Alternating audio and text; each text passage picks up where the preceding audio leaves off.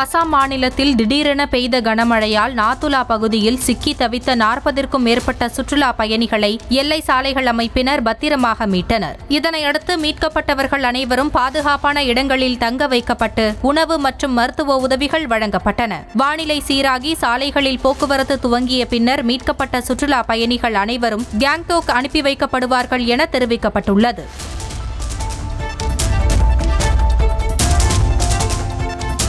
இந்த ஆண்டு உலக பொருளாதார வளர்ச்சியில் பாதிக்கும் மேற்பட்ட அளவை இந்தியாவும் சீனாவும் சேர்ந்து அளிக்கும் என ஐஎம்எஃப் எனப்படும் சர்வதேச நிதியம் தெரிவித்துள்ளது.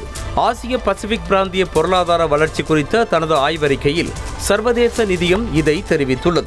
உலக பொருளாதார வளர்ச்சியில் இந்தியா மற்றும் சீனாவின் பங்களிப்பு எழுபது சதவீதம் வரை இருக்கும் என அந்த ஆய்வறிக்கையில் தெரிவிக்கப்பட்டுள்ளது. உலகின் மிகப்பெரிய இரண்டு சந்தை பொருளாதாரங்களாக இந்த இரண்டு நாடுகளும் வளர்ந்துள்ளதாக குறிப்பிடப்பட்டுள்ளது. இந்தியா மற்றும் சீனாவை உள்ளடக்கிய ஆசிய பசிபிக் பிராந்தியத்தில் கடந்த ஆண்டு மூன்று புள்ளி எட்டு சதவீதமாக இருந்த பொருளாதார வளர்ச்சி நடப்பாண்டில் நான்கு புள்ளி ஆறு சதவீதமாக அதிகரிக்கும் என சர்வதேச நிதியம் கணித்துள்ளது.